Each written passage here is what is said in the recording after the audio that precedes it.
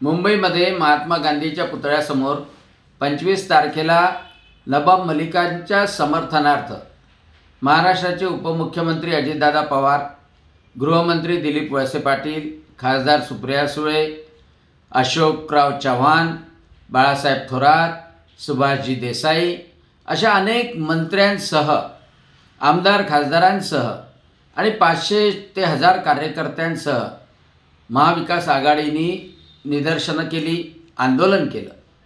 अशाच प्रकारचं आंदोलन आम्ही अमरावतीला नवाब मलिकांनी राजीनामा द्यावा यासाठी केलं.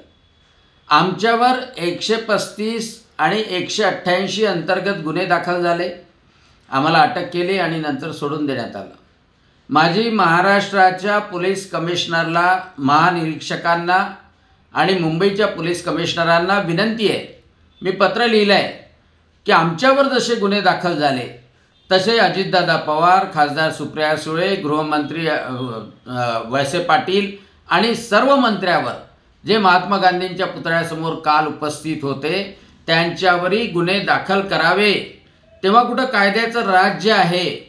पोलीस कोणात भेदभाव करत नाही असं जनतेला समजेल. त्यासाठी मी आज पत्र लिहिलं आहे मला तातडीनं कारवाई होणं अपेक्षित आहे.